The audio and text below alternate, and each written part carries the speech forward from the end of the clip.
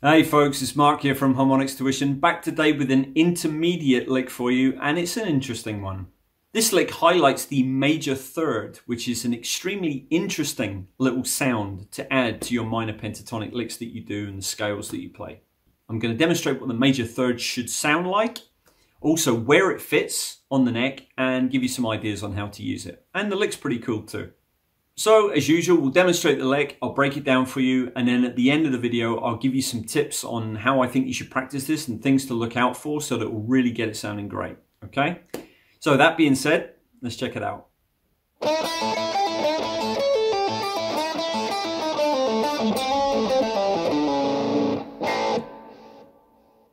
Okay guys, so I'm to break this up into pieces. The first piece is this. Okay. What I'm doing here is I'm using my second finger on fret 7 on the G, bending it up to the E or ninth fret, the same as the fret 5 on the B, okay?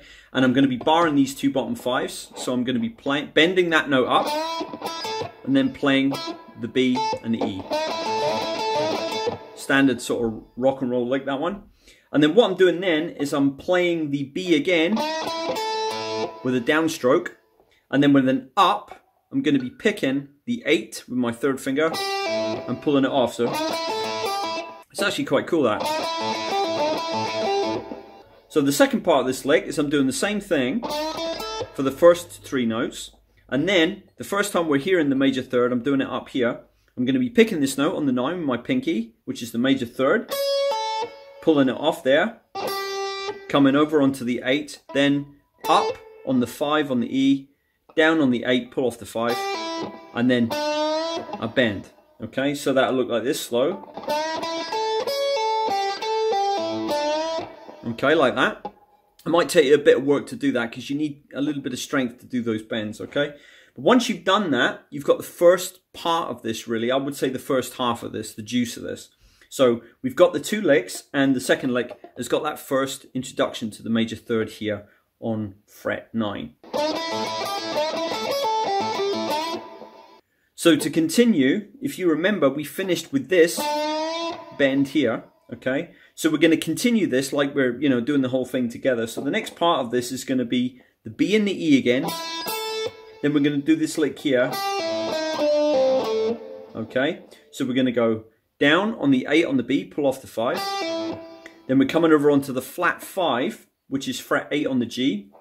I'm going to be picking that, then I'm going to be pulling off the 7, pulling off the 5.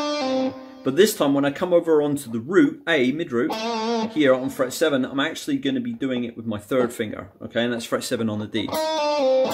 Okay, so that's the A note there. So, what we have so far is this.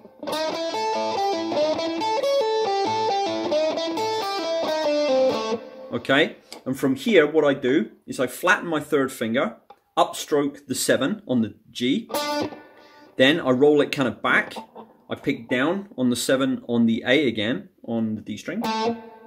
Now this time, what I'm going to do is, I'm going to pick up on fret 5 on the G, but this time I'm going to hammer my second finger onto fret 6, which is the major third again. This is the second time we're going to hear it. So that'll look like this all together.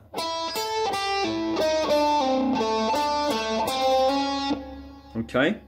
So that's where it goes from kind of like minor to major. That's where you get that sudden change and it, it really sort of sticks out sonically. So from there, we go back over to the mid root. Okay, 7 on the D. Then we're picking up on the 5. Then we're picking down on the 7 on the D, pulling off the 5. Okay. Then we're going to pick down on the 7 on the A, pull off the 5, and this time slide down to 4, which is the third iteration of the major third.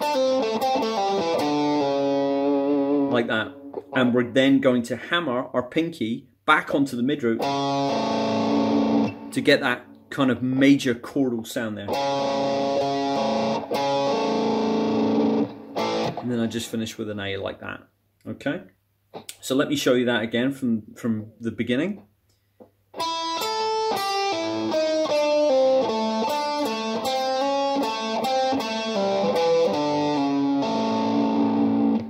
Okay. Putting all that together now, let's go through it nice and slow.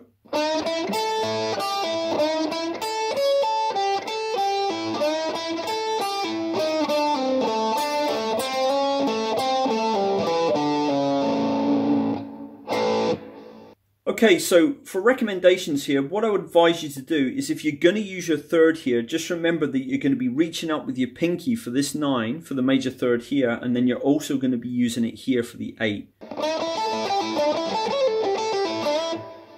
Okay, that might give you a few problems, so just bear that in mind if you're not going to use the fingerings that I gave you.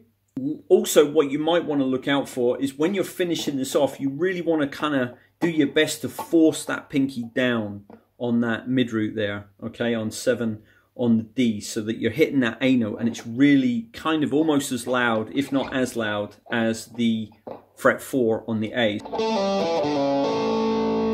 Okay, you really want that to try and come through as much as possible. Okay, you might get lucky and it's really, really loud. It's not always going to be the same, but do your best. Okay. Also, another thing that I would recommend is make sure if you can that when you're bending up to this kind of rock and roll lick at the beginning, you know, you're really getting that bend up there. Make sure your guitar's obviously in tune. That's just goes without saying, but you want to try and make sure those two notes are really, really similar.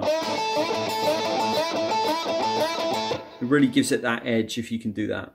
Another recommendation I would say is if you're going to do this, do it to a metronome. Try and keep it slow. Keep the notes all moving nice and evenly and free together. And just be aware that the positions for the major third, okay, just so that you've got them in your head, in, in terms of A minor position here, in this particular octave of it, it's going to be 9, okay? Then it's going to be 6 on the G, so that's 9 on the E, 6 on the G, and 4 on the A, okay? That's the major third positions there. Another tip I would give you is the middle part here. If we take the flat 5 on the G, going down to the mid root, okay, and then you're doing the rolling thing, and then like that, that. That's something you really want to practice if you don't know how to do that already, because it's used a lot in blues and rock, okay, and it's a really, really kind of interesting, cool little skill to have, because you can fit it in almost to anything when you're doing anything anywhere, so... But what we're doing here, as I said, is we're adding our second to get the major third, yeah? And resolving onto that A there on that mid root just makes everything sound so great. It really showcases the major third, really stands out.